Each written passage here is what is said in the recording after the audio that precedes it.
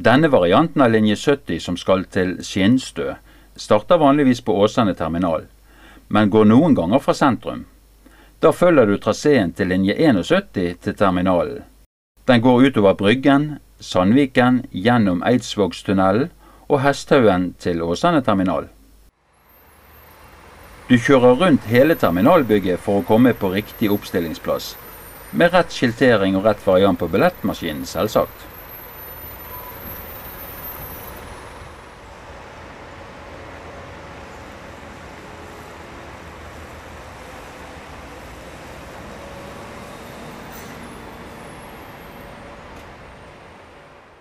Fra Åsane terminal kjører du Hesthaugveien til Åsane brannstasjon, svinger av til Myrdalsskogen og kjører til Skinstø.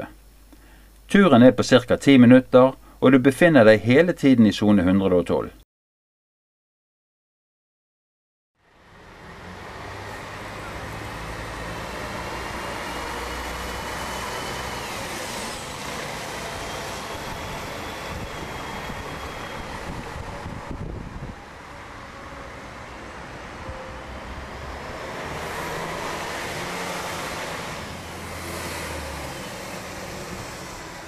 Når du kjører ut fra terminalen, skal du svinge til høyre i Hesthaugveien for å snu i rundkjøringen.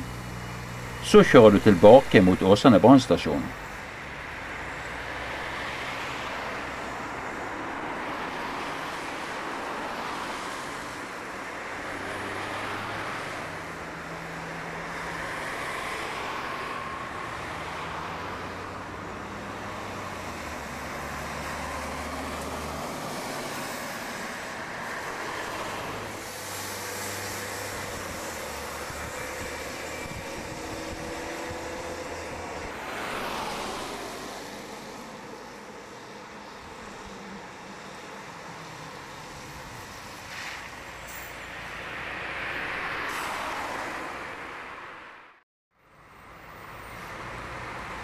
Det kan nevnes at det er på Åsane brannstasjon vi har våre brannvern- og førstehjelpskurs.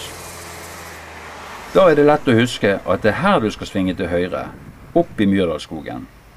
Med brannstasjonen i ryggen vet du at du er på rett vei. Nå er det så enkelt at du bare fortsetter opp bakken helt til du kommer til toppen. Du er på snuplassen når du ikke kommer lenger.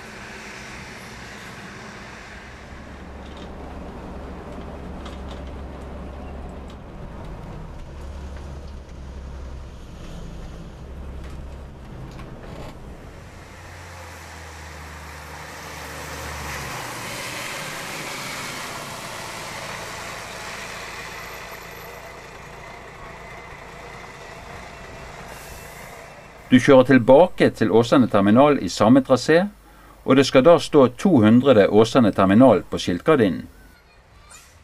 Passasjerene dine får overgang på Åsane terminal.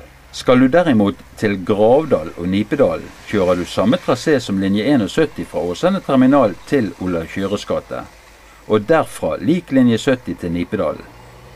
Men denne informasjonen finner du på skiftplanen din, og husk ny variant på billettmaskinen.